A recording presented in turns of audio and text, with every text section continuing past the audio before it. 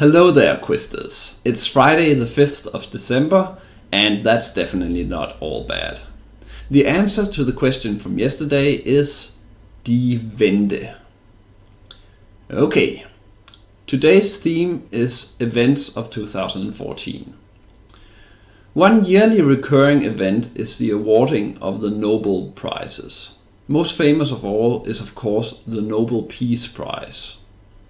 This year saw the youngest person ever to win the Peace Prize. My question is simply, what is the name of this youngest ever Nobel Prize winner? And for today's clip, you'll get an inspirational remix to tell you that even you can make the world better. Enjoy!